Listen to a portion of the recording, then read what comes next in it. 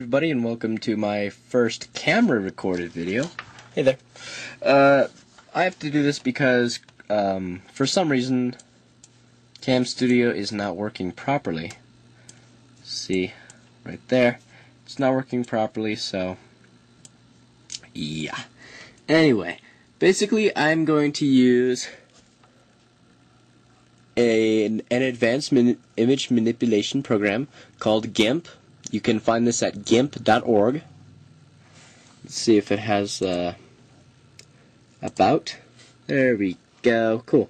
This is GIMP 2.6.5. It's ooh, look at that. That's pretty cool. Um, you can find more information at um, the the GIMP website, which is gimp.org, G-I-M-P.org. Close.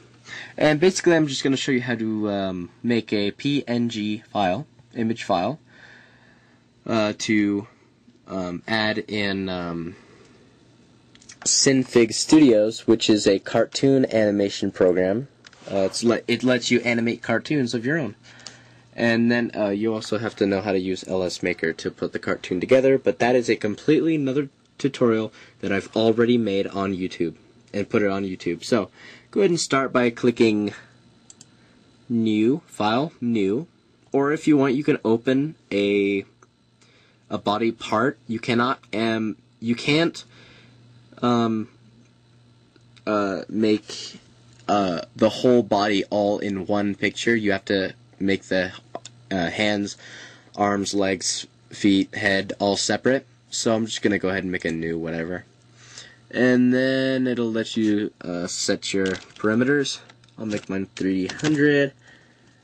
Uh, height 300 with 400. That's just how I like it because it's easy, easy to edit. Click OK.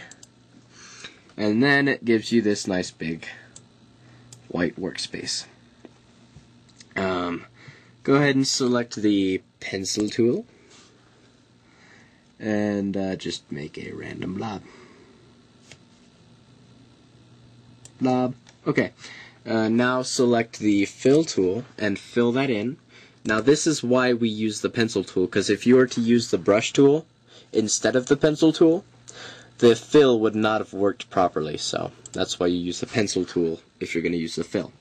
Alright, so there you have just a regular black blob, so now we need to get rid of the white. So go to colors, down to color to alpha, and this window pops up, and uh, already mine is default set on white, and it says here from white to alpha. Um, it takes out the white and all the checkers. That there's nothing there. That's all just gone. The checkers is just telling you that there's nothing there. All right, so click OK. And uh, there you go. If you need to, I'll go back to that menu, color to alpha. If you need to change the color, you just click on this uh, rectangle here, and then you just, you know, got your basic color finding choosing thing. Uh, so go ahead and, uh, yeah, if you need that. Um, make sure that the color that you take out is not the same color as anything else in the picture, otherwise you'll take out that color too. Now that we've done that, go to File, Save As, then this big window pops up that takes up almost my entire monitor. Oh well. Now type in something random like blob blob.p PNG. Now you need that PNG extension, otherwise this will not work. I don't know what that untitled thing is doing. It's just there.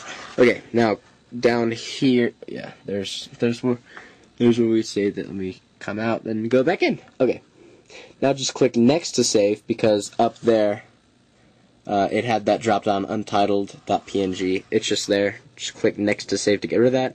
Now click save. Now I already have another blob uh, PNG, but I'll just replace that because I already know what it is. Now, before you continue, this save as PNG um, pops up. Uncheck this box that says save background color. We do not want that at all. Um, so once you've done that, you can go ahead and click save.